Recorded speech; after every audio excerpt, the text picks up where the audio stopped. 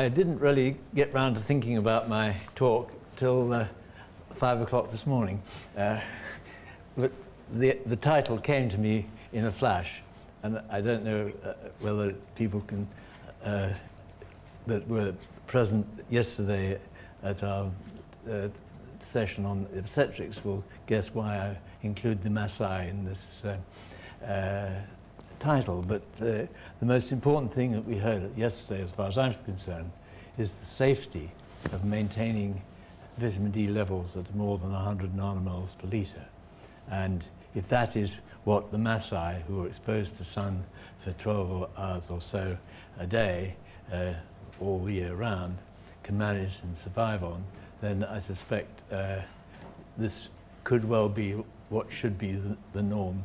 Uh, and we certainly are far from the norm in this country.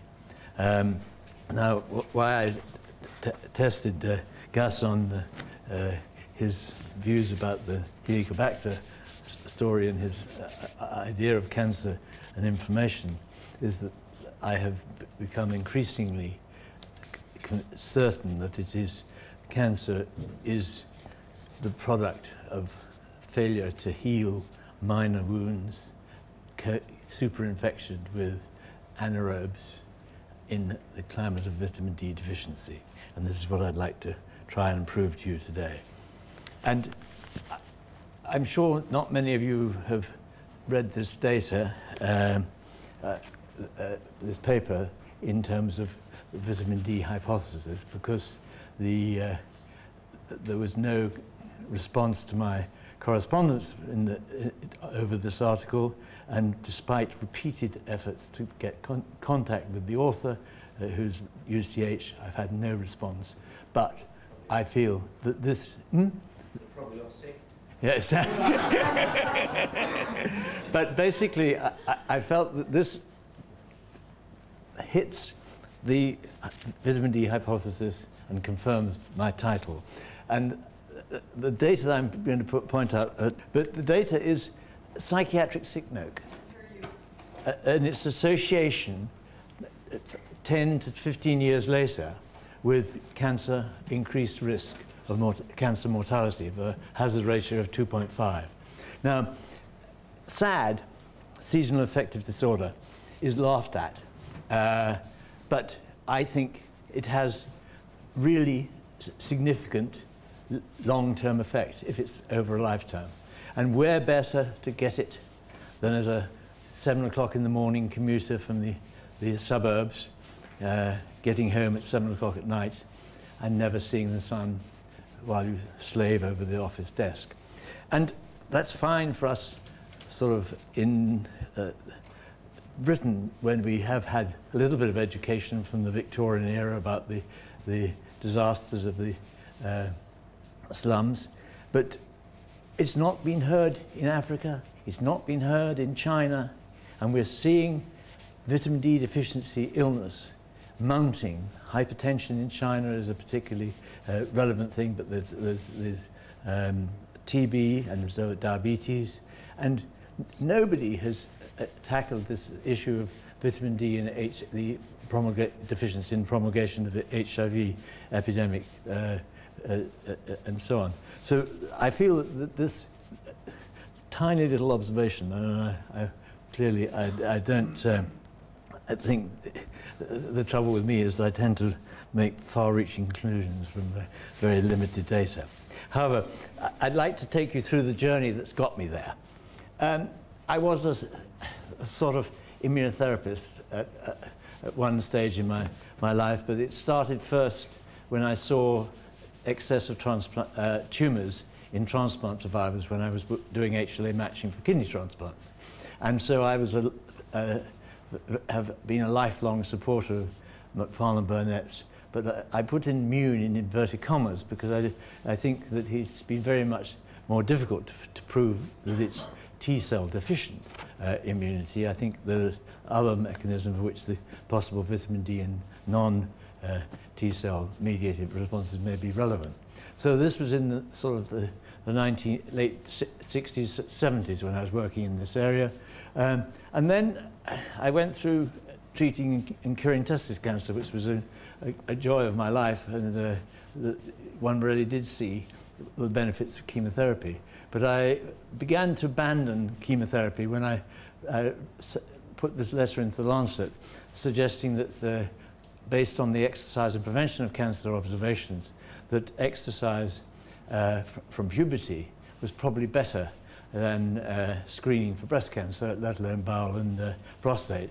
And uh, that um, this was uh, obviously somewhat, again, a rather large leap.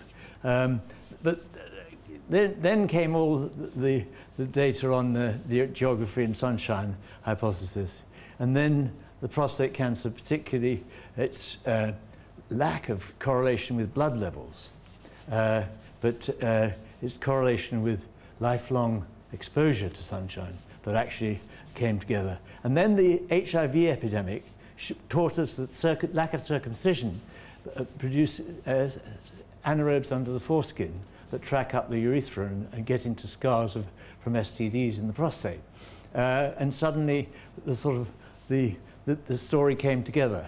Uh, and of course, this was also related to the high incidence of prostate cancer in the Afro-Caribbeans and demonstration in 1982 that you need six times the sun exposure to get a level of vitamin D.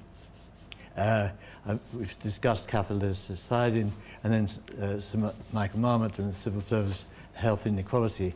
And then uh, sunshine and exercise, are they confounding variables or is it all due to vitamin D or is it all due to exercise? Because nobody has actually studied these separately and looked at the, the synergistic action. And so my retirement job is trying to develop an index of fitness, of outdoor fitness uh, for schools, universities, and over 50s Olympiad, which we'll come to. So, cancer and, and immune surveillance.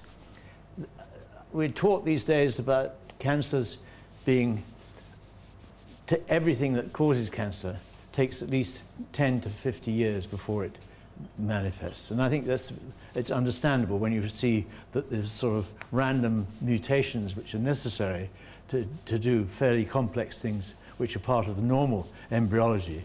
But basically you have got to get a whole series of different stages of mutation before you can get a cancer. Now, the, the key paper in my sort of uh, tumor immunology and HLA field was this paper, which has not been repeated and virtually nobody else has made any comment on it. But it shows basically that if you look at tumors that arise in transplant recipients, they do not lose HLA antigens, while the spontaneous tumors, more than 75 or 80% do. So what that tells me is that first, one of the first changes in the, the generation of escape for spontaneous tumors is neutralizing the T cell mechanism. And that, that, that means that if you're going to do anything about eliminating cancer, you've got to get in at the beginning, which means puberty. And that's why I'm focusing on exercise in schools. Now, here is the, the, the most interesting, or the, the, the most seminal, I think, paper on exercise, because it's total cancer.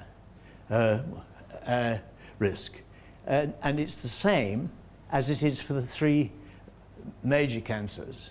Uh, this was a slight exception, but, uh, uh, but nonetheless, the reduction, and I think that that tells us, although of course we, it's, it's pretty small amount of data, even though it's 7,000 odd uh, people, uh, to say that it's relevant to all malignant transformation. Now, it's a big leap to say that, but I think it is relevant, as much relevant as it is to say that the vitamin D and, and so on might also be the same thing.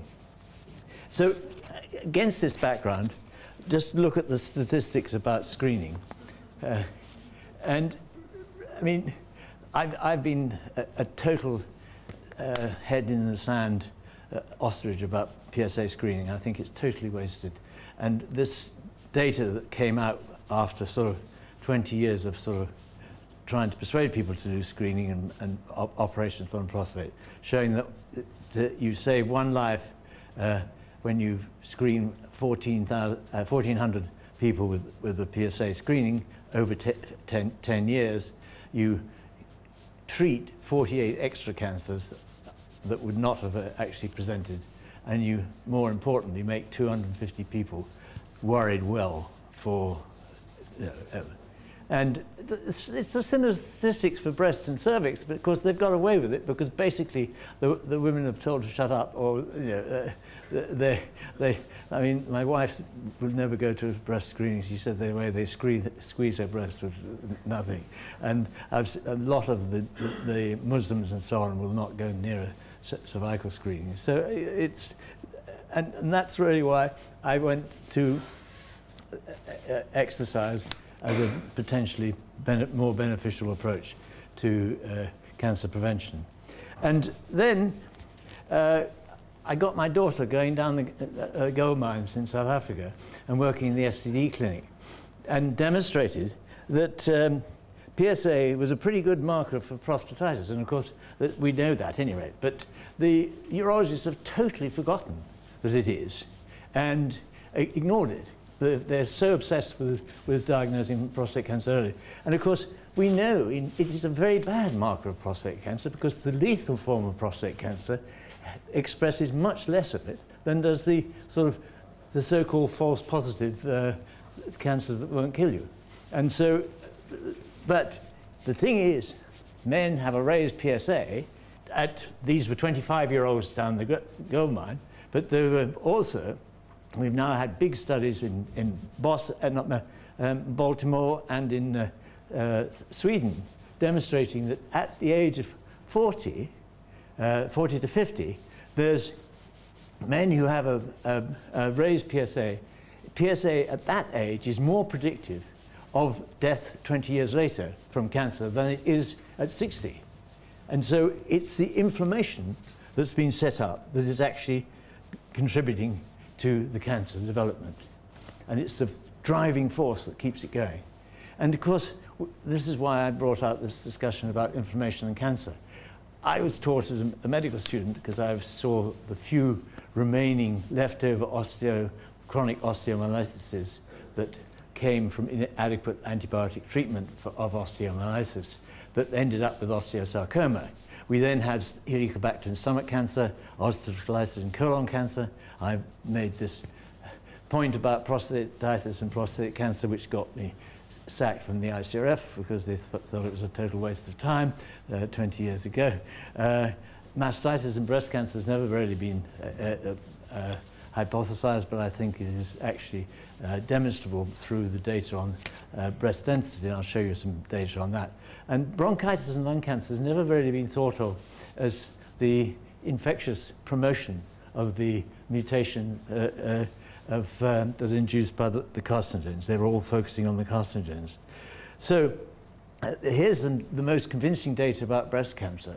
Uh, this is vitamin D seasonally, measured across the seasons, and correlated with breast density. And you see, when the vitamin D is lowest, the breast density is its highest. And breast density, high breast density is a predictive factor for, for um, breast cancer. And so whether it is due to inflammation in the breast, I don't know, because I've not, not really been involved in the breast field, but I, I think this is a really good demonstration of a potential vitamin D intervention in prevention of breast cancer. So let's just look at the data about prostate cancer. Um, prostate cancer and circumcision, no one really sort of took it very seriously, but there's actually uh, five papers that I've looked at, and the meta-analysis, a, a, risk of 13% reduction, not very great, but it's statistically significant with the, those sort of numbers. Uh, and in fact, it's not much worse than the, the, the, the big studies on uh, cervix cancer and male circumcision. Um, so I, I, think it's a real factor. Um, and if we go around the world, uh, of course, what's interesting is that uh, America, of course, does circumcision on 90% of its uh, newborn babies, so the, the, the, the numbers are falling now. Uh, but they are proselytizing circumcision for Africa a solution for AIDS, uh, when most of the data about circumcision in cervix cancer is actually demonstrating it's a combined situation due to hygiene and access to running water. And this is demonstrated in Brazil, in India, and in China, where they've got very good data that the, the benefits of circumcision are not seen when, when there's adequate access to, to hygiene and, and sanitary facilities, but we're not getting those in Africa. All, they're all being told to get circumcised. Uh, it's really very important, this, this data, because it's demonstrated this issue of the anaerobes under the foreskin and in, in the presence of inadequate hygiene. Now, if you think about anaerobes, once they're under the foreskin, the urethra is, is not uh, uh, anoxic, so it'll get all the way up the urethra, and if the, there are scars there from uh, STDs, they'll be, it'll be colonized. And so that, that undoubtedly could be why there's no data yet on any specific organism causing prostate cancer. There's multiple minor linkages with gonorrhea, chlamydia, to, and even a new retrovirus, but they've never really been able to pinpoint a one-to-one -one relationship. And I think that fits in quite well, as does, this is the only study on use of condoms the, that uh, shows lack of condoms being uh, associated with a risk. So, vitamin D. It's, it's a, a, a, quite pretty large number of studies have been done and pretty unimpressive correlation demonstrated. Interesting enough, uh, uh this WHO thing, uh, study which uh, did all this about cancer, the whole data on geography they dismissed as, as uh, uh, not really very in, en entertaining. Yet in their own data, they have got such an amazing difference between the, uh, the northern countries and the southern countries that it's amazing that they, they drew the conclusion that they did. And, and more importantly, that they did their utmost to, to do, use pseudoscience statistics to dismiss the fact that there are now four studies showing that it's the lifelong index of sun exposure that's the more relevant thing to, to um, reduce the risk of prostate cancer. And this would go along with the concept of reduction of a, a, a, low-grade inflammation in causing bacteria such as anaerobes. Um, and of course, the African story. I mean, they, they've spent enormous sums in America, from what I gather, sort of analysing around and around, but not really paying any attention to the fact that the, they have vitamin D deficiency, the, the, and it takes six times the dose to, in order to get from uh, uh, here we see it goes up to 40 to 60. Uh, they only get 10 uh, if you use that dose, but if you give six times the dose, you only get up to 30. But so, um, and we saw yesterday that it takes uh, uh, two hours of sunshine exposure to get what the whites get in 30 minutes. So here's the data on Caribbean in the, in the UK having uh, nearly three times the incidence of uh, prostate cancer. Interestingly, of course, there's the Asians who are as vitamin D deficient don't. Now this you could argue is against the vitamin D hypothesis, or you can say the Asians have, as the Japanese are known to have, this gene for, uh, uh, for uh, 5-alpha reductase deficiency, which converts testosterone to dihydrotestosterone, which is the, G, uh, the product that acts on the prostate. And this is thought to what, be what is a major factor in the the lower incidence of prostate cancer in, in the Japanese. So, why do I think that the Olympics coming to London should become a, uh, uh, a, legacy for, for putting this message back in the public domain?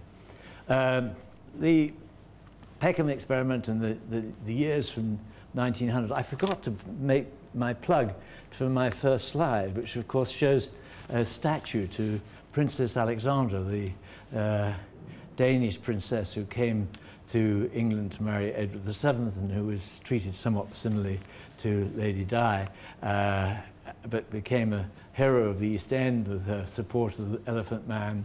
But more importantly, she bought as her dowry the world's first sun lamp because her, her countryman had just been awarded the Nobel Prize at the time of her wedding uh, for inventing this sun lamp. though he didn't know it was uh, doing vitamin D. But uh, so, and so I've been sort of educated in a place where, uh, although not many of the doctors told me about this, I gradually acquired its in, the information. And I think that getting kids out in the outdoor exercise, but also adults. And uh, we have a very forward-thinking public health uh, uh, in the East End of London that has actually is running an over 50s Olympiad, and I'm the second the silver medalist in the cycling. Uh, but uh, uh, and and of course I, I, was I was astounded. But you know you. Over 50, uh, the number of people that run the marathons over 50 is amazing. It's, you, know, you can, can keep yourself going. And I mean, an 80-year-old friend of my wife is the, used to be the world, no, the British uh, record holder for the 60 meter sprint. There's a lot of uh, athletics going on there, and I think keeping old people fit with, with sunshine and exercise is going to be the way forward, not to the more drugs. Um, and the, the, from the point of view of our secret weapon, uh, not, there's a few odd nationals from elsewhere, but uh, uh, why do the, um, the Sunbelt countries always win more medals? Uh, it, it, this shows a German study from 1956 where the, they uh, tested people throughout, seven subjects throughout one year and showed the strength mounting in the summer months when they were exposed to. So vitamin D is a muscle enhancer. Uh, uh it, it, I don't know about sunshine, but the exercise certainly does good things in the brain. And this is the most wonderful study in, in mice um, showing uh, in terms of the ability to do a, te uh, a test in the uh, uh, the maze. It was a maze test, I think. Where have I put it? Uh, anyway, uh, they got out of the maze if they'd been in a cage with a, with a running wheel, uh, and they had much more DNA activity in their brain I mean, they were sacrificed. And so, uh, I've been working in schools using a, a very computerized index of fitness that basically revolves around a thing called the beep test, where they um, measure your uh, uh, VO2 max and uh, your uh, ability to, to run in a sort of endurance type of way. And this index here is what, what one uses. And you see there's a, quite a range in the different schools, and it could certainly be used to, for competition between schools, because, but it, it's based on the, the median of that school. And I think that's the most important thing, is that uh, competitions that use large bodies of work uh, will, will get more people engaged because everybody counts. But more importantly, and again, this is very small number of data, those that were fittest had best examination results. And more importantly, those that improved their scores also, now, that, well, again, they're not statistically significant, they're small studies, but the, the, the time for sports and schools exercise outside was all lost in the Thatcher era, and that was the cause of my writing my letter to the Lancet. But I think that we, we now have the opportunity to use this to get community-based sort of outside exercise as sort of a way of, uh, and perhaps using the Olympics every four years to run the competitions on the internet uh, to, to uh, do this. But anyway, so the lessons from this talk, I think, is that providing you accept there's no cause of cancer that doesn't take less than 10 years and more, mostly 50 years to cause it, then the concept of anaerobe colonization of poorly vascular scar tissue, creating a wound that, wound that doesn't heal, uh, sustained by intermittent or uh, sustained vitamin D deficiency, provides a rational explanation for how cancers in most organs could develop. Population-based interventions to ensure lifelong, safe, intermittent sun exposure and exercise a general approach to reducing health inequalities is clearly justified by data on low cancer rates uh, in farmers, builders and golfers. And I think this is uh, very important. The data, uh, uh the GPs as gatekeepers to the NHS should be encouraged to maintain mass eye level of vitamin D in all their patients. and the data presented suggesting fitness in school correlates with academic performance justifies more curriculum time for outdoor sport. And the internet-based fitness uh, indices of fitness population could provide the opportunity for four yearly schools, universities and over 50s Olympiads. Thank you.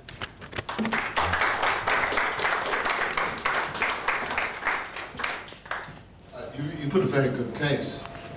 Uh, it gets rather chicken and eggy, doesn't it?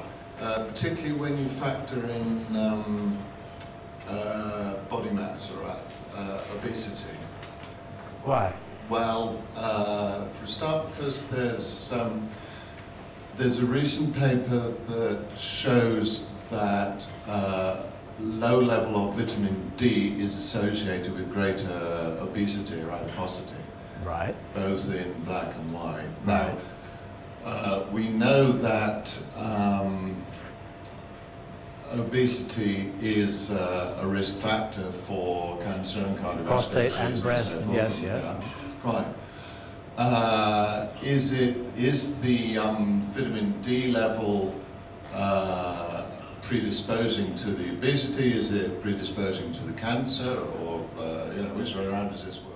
Well, it, we, we know, and uh, from yesterday's uh, presentations, it was really very interesting that they demonstrated that vitamin D supplementation in, in pregnancy reduced substantially uh, the uh, diabetes of, of, pregnancy. And so there is, presumably that is not an immune mechanism, some relevant issue of a calcium interaction in the, end, uh, the hormone action of insulin and so on, and, and lipid metabolism that may be influenced as well, though it, we have to remember that uh, sort of um, pancreatitis, uh, sort of low-level pancreatitis, which is uh, a, a, major factor for um, uh, diabetes, just as low-level prostatitis, could be enhanced by vitamin D deficiency. So uh, I, I don't rule out that, that being a possibility as well. Your group of Maasai tribesmen, presumably, um, were presumably also lactose tolerant. But you could go in Africa and find another group of tribesmen who were lactose intolerant uh, and about the same latitude. I wonder whether you made any comparisons about consumption of milk and also in this country and other countries, cow milk is not fortified with vitamin D, um, whereas uh, the new introductions of soy milks and so on are fortified. Mm. I, mean, I, I, this Maasai data was not mine, it was uh, Dr. Hollis's, uh, and he, he was comparing the Maasai with uh, the Bantu and urban Bantu and showed that theirs were half that level. Uh, and so, you know, uh, but yes, milk maybe, I don't know what buff buffalo milk or uh, uh, does with vitamin D, but it, presumably the, the cattle are very much healthier in the uh, outback uh, in, in, Africa than they are in, uh, in, in, Europe. I mean, my grandfather was uh, instrumental in getting Koch to, to stand, to back down on the fact, his view that bovine TB was not pathogenic in man. He felt that was true from France because, of course, France has a lot more sunshine than we do. But he, my grandfather did his thesis on abdominal TB in uh, uh, children in Edinburgh. And there, this was where they proved that it was the bovine TB was a major risk factor, and that's why, which what led to the, the pasteurization of milk.